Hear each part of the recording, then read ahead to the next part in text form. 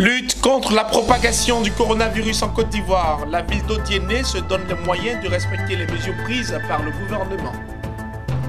Le Nigeria se prépare au pire en Afrique face à la propagation du coronavirus en construisant des centres d'isolement pour les contaminés du Covid-19.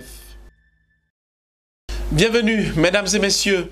Le Covid-19 est l'actualité au niveau international et vous le savez, l'Afrique n'en est pas épargnée. En Côte d'Ivoire, dans l'optique de freiner la transmission du coronavirus, le chef de l'État Alassane Ouattara a décrété l'état d'urgence le 23 mars dernier. Comment est vécue cette décision gouvernementale à Odiéné dans le nord du pays? Élément de réponse dans ce reportage de Touré Labas, commenté par Betty Kwaku. Depuis maintenant 48 heures, L'hygiène des mains est devenue un impératif au sein des structures étatiques et des structures décentralisées, dont le Kabadougou. La préfecture et la mairie en sont les illustrations évidentes. Au niveau du transport, les six compagnies qui desservent Abidjan ont suspendu leurs activités jusqu'à nouvel ordre. Néanmoins, quant à leur activité en direction des villes de Boaké et de Daloa, celles-ci ne dépassent guère les 50 passagers contre 75 voyageurs par car. Hier, nous avons reçu la visite de M. le DR du transport pour s'imprégner des réalités du terrain par rapport aux dispositifs sanitaires que qui ont été prises au sein de la gare. Bon, le port des cache les, gants, ainsi que le lavage des mains. Voilà. Il nous a dit la réalité du terrain. On dit chaque passager avant la montée du car doit se faire laver les mains et puis avant de monter dans le car. Mais nous a dit que désormais à partir d'hier, les nouvelles mesures prises au niveau du nombre de passagers dans le car est de 50 personnes. Répondant à ces préoccupations et à bien d'autres, Ablo Yao Alfred, docteur de la santé et de l'hygiène publique de la région du Kabadougou, a donné les assurances suivantes. Dieu merci, au niveau de la région sanitaire du Kabadougou, nous avons euh, une antenne régionale du centre des opérations d'urgence santé publique. Et donc, de facto, ce centre aussi a été activé, le COUS a été activé. Et fort de cela, euh, nous avons déjà au niveau périphérique, convier tous les infirmiers des aides de santé pour un briefing et leur donner des affiches pour pouvoir sensibiliser la population. Et de ce fait, au niveau de chaque aide de santé, nous avons aussi ce qu'on appelle les agents de santé communautaire dans chaque village.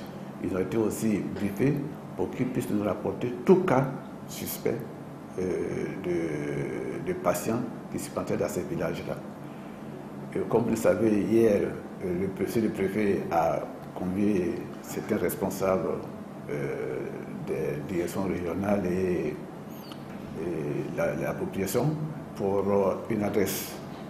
Et à cet effet, nous avons dit un peu ce que nous avons mis en place au niveau de la santé. au niveau de la santé, comme j'ai dit, d'abord au niveau périphérique, tous les aides sont briefés. Au niveau des aides santé, les infirmiers sont briefés. Au niveau des dispositifs pour recevoir d'éventuels cas suspects. Nous avons, tout à l'heure, nous allons visiter, derrière nous avons un centre de transit qui a servi pour euh, Ebola. Ce centre a été réhabilité. Nous avons dressé deux tentes pour d'éventuels cas contacts, des cas contacts des patients suspects. Voilà, qu'on peut mettre en, quarantaine ici. Et puis, à la même occasion, d'avoir aussi identifié deux salles climatisées au niveau de CHR, avec euh, chacune des salles de lits où nous pouvons hospitaliser d'éventuels malades.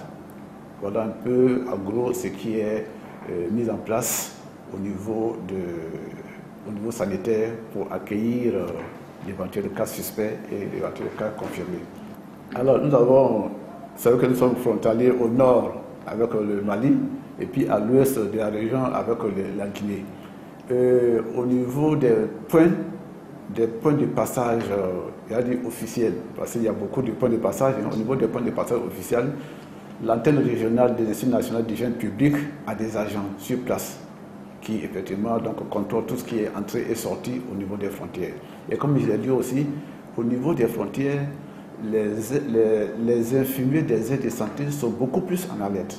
Beaucoup plus en alerte, de sorte que les aides là-bas ont, été vraiment, j'allais dire, euh, activer à fond, a dit, pour qu'ils puissent nous vraiment nous relater d'éventuels cas suspects. Donc il y a donc l'INHP qui passe, et puis au niveau des plantures aussi, les aides de santé, les infirmiers des aides de santé sont beaucoup plus euh, sollicités par rapport aux autres euh, aides de santé. Voilà. Mieux, un site d'accueil pour d'éventuels cas a même été dressé. Sa Majesté El Touré Lassiné, chef canton du Kabadougou, a promis de s'impliquer personnellement dans la sensibilisation des populations. J'ai même envoyé des convocations euh, au chef Kabla de tous les quartiers Guinée. Je vais les recevoir pour une sensibilisation. Et avant cela, euh, euh, la chambre des rois et chefs traditionnels m'ont envoyé un communiqué pour pouvoir diffuser à ma population.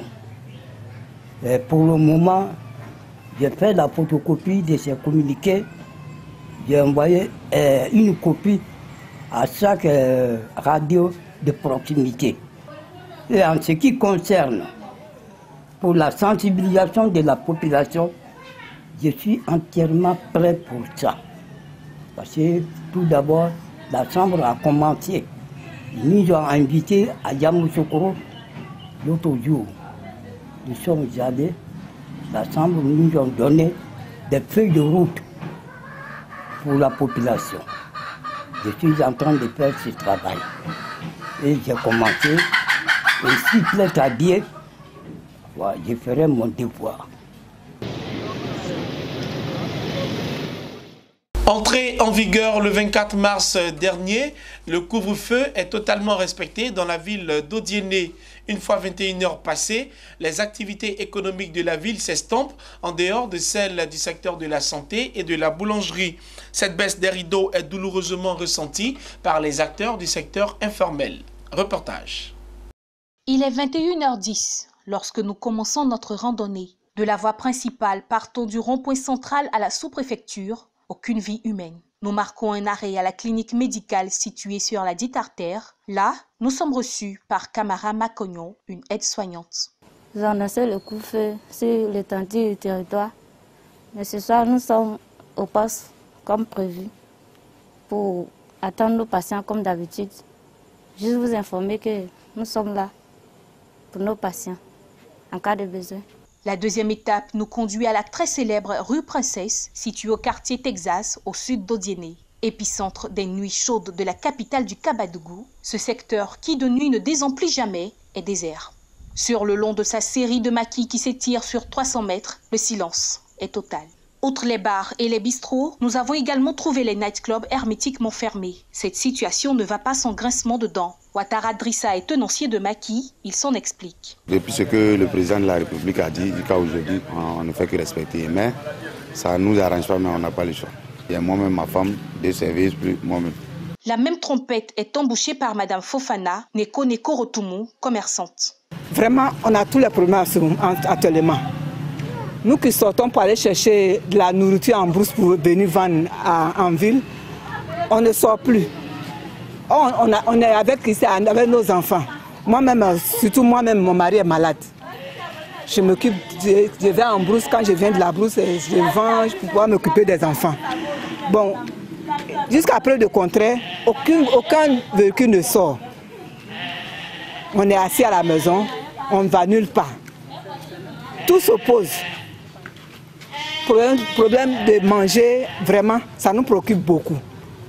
Parce que sans la nourriture, on ne peut rien faire.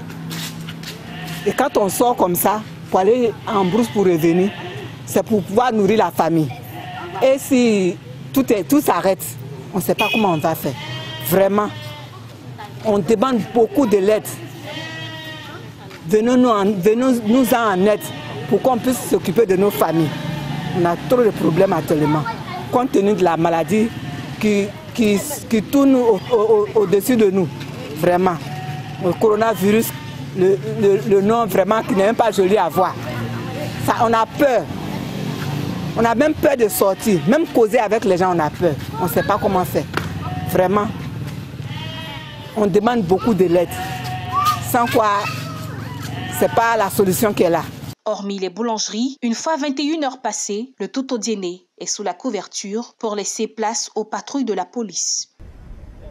Pendant que la pandémie du coronavirus s'accélère au niveau international, l'Organisation mondiale de la santé appelle l'Afrique à se réveiller et se préparer au pire.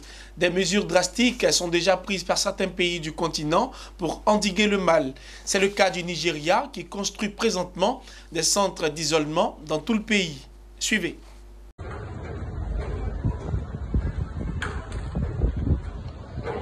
En Afrique de l'Ouest, le géant, le Nigeria, qui enregistre deux décès de coronavirus, prend le taureau par les cornes.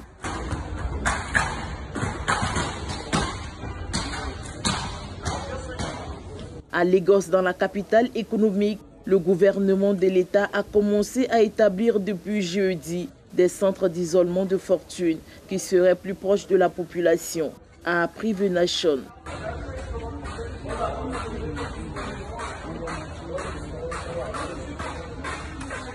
Cette idée fait suite à l'annonce de nouveaux cas confirmés de Covid-19 avec la crainte que les chiffres ne montent en flèche dans les prochains jours. Des travaux sont en cours à l'ancien stade Oninkan du stade Mobolaji Johnson avec des tentes montées sur le terrain.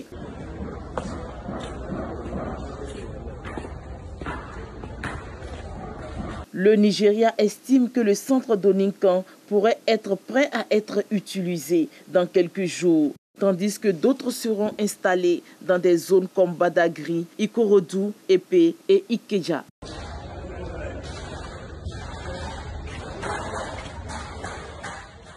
L'Afrique du Sud veut mieux contrôler le flux des personnes à sa frontière terrestre avec le Zimbabwe, alors que la propagation du coronavirus devient plus qu'inquiétante dans tout le pays. Le ministère sud-africain des Travaux publics et des Infrastructures a annoncé qu'une clôture de 40 km et 1,8 m de haut va être érigée à la frontière de Beit Bridge. À en croire la ministre des Travaux publics, Patricia de Lille, cette décision n'est pas de nature xénophobe, mais vise plutôt à surveiller les flux de personnes entrant et sortant, car ceux qui y entrent de façon frauduleuse échappent au contrôle sanitaire portant nécessaire. Retour en Côte d'Ivoire, cette fois pour parler de sécurité en entreprise. À San Pedro, la Société africaine de cacao a organisé un exercice de simulation au sein de son usine. L'objectif étant de tester son plan d'opération interne. C'était il y a un mois, avant les mesures prises par le gouvernement pour lutter contre la propagation du coronavirus. Le reportage est de Abel Kouao, commenté par Betty Kwaku. L'usine de la Société africaine de cacao Saco est située à l'entrée de la ville sur l'axe San Pedro Abidjan. La simulation a consisté à maîtriser un incendie déclaré accidentellement à l'usine de transformation. Gloria qui ne marche pas, donc nous sollicitons de l'aide.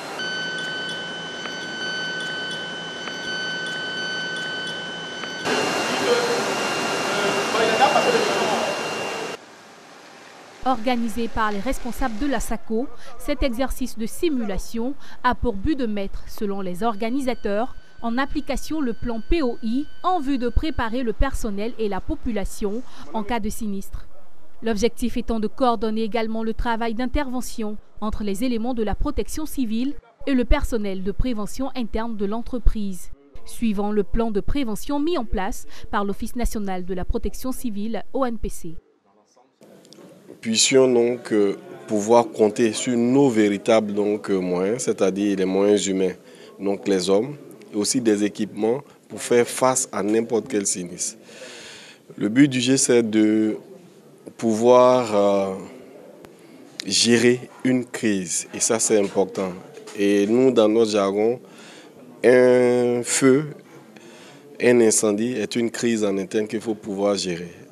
Le directeur de l'usine de transformation Saco San Pedro s'est dit satisfait du professionnalisme des équipes déployées qui se sont mises en situation réelle dans le déroulement de l'action de simulation, puis a rassuré que la SACO mettra davantage de moyens internes afin d'être à même de répondre en cas de sinistre car pour la SACO, l'homme est la première ressource de l'entreprise. Aujourd'hui, je suis très satisfait avec mon équipe et puis avec la, toute la société extérieure en train de travailler et puis, avec l'État, je peux féliciter l'État aussi pour mettre dans le système la, tout le déploiement. Ça donne nous l'outil pour aider la société pour avancer. Je pense aujourd'hui on est en train d'avancer très bien. Ce quatrième exercice de simulation du plan d'opération interne POI a été réalisé avec l'encadrement technique et la supervision de l'Office national de la protection civile ONPC et le groupement des sapeurs-pompiers militaires GSPM, le Centre de coordination des décisions opérationnelles CCDO, la police nationale, le Centre ivoirien anti-pollution SIAPOL. Ils y ont participé en qualité de structure technique. Ce journal est terminé. Merci de l'avoir suivi. Vous êtes tous invités à être le policier de l'autre pour le respect des mesures sanitaires dans la lutte contre la propagation du coronavirus. Portez-vous bien.